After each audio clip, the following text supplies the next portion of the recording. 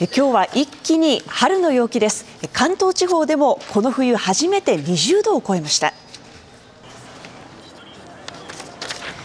西日本から東日本にかけて暖かな南風が吹き込んでいる影響で各地で気温が上がっています。特に群馬県内では20度を超えたところもあり冬物のコートが邪魔になる暖かさになっています。この後も南風とともにさらに気温が上がる見込みで九州から関東にかけて4月並みの暖かさになりそうです。